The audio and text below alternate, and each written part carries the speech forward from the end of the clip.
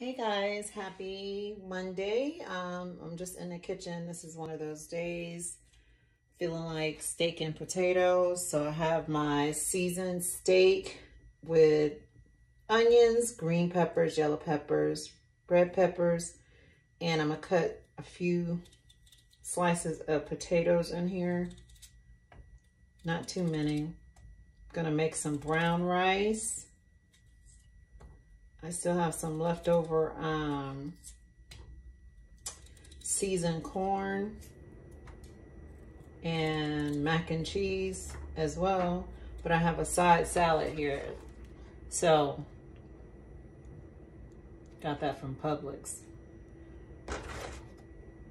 So I'm just in the kitchen, guys. I hope you're enjoying your Monday. Um, it's gloomy, rainy,